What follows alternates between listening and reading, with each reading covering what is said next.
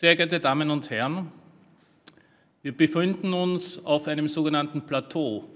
Und ich erwähne das deswegen, weil dieses Plateau Auswirkungen hat. Zum Glück in den Krankenhäusern nicht so sehr auf den Intensivstationen.